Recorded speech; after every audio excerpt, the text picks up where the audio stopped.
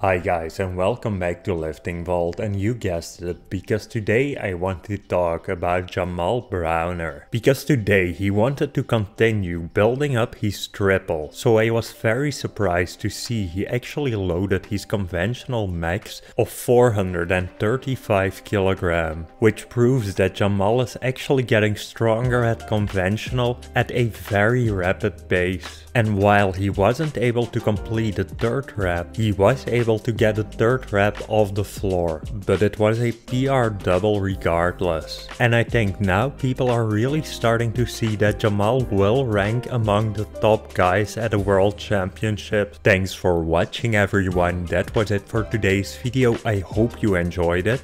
And if you did, don't forget to like and subscribe and check out one of the suggested videos displayed on the screen right now.